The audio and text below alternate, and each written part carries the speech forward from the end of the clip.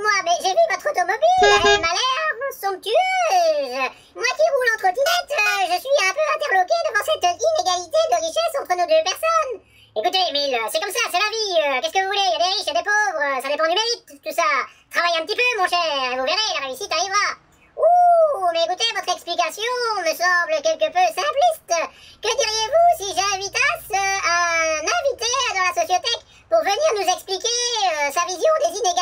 inégalités sociales Émile, qu'avez-vous encore fait? Qui avez-vous invité, bon sang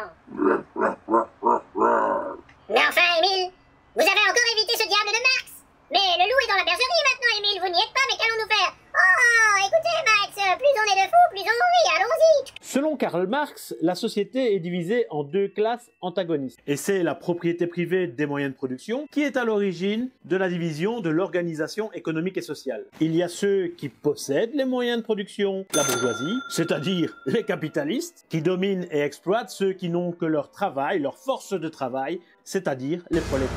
Les moyens de production ne sont rien d'autre finalement que les capitaux qui permettent d'investir dans des moyens qui permettront la production de différents produits, comme par exemple des brevets, des matières premières, des infrastructures, des technologies et bien sûr de la main-d'œuvre. Selon la théorie marxiste, les capitalistes achètent cette force de travail contre un salaire. Ce salaire de subsistance permet juste aux prolétaires de rétablir et de reconstituer jour après jour la force de travail, c'est-à-dire se nourrir et nourrir leur famille. Le prolétaire produit beaucoup plus que ce qui ne lui est donné par le salaire. La différence entre la valeur créée par le travail du prolétaire et le salaire revient au capitalisme. Marx appelle cette différence la plus-value. Les bourgeois exploitent donc les prolétaires. Et c'est cette exploitation qui creuse les inégalités. Pour Marx, les inégalités de richesse sont donc consubstantielles au capitalisme. C'est-à-dire que s'il y a des inégalités, c'est parce que le capitalisme est construit sur ces inégalités.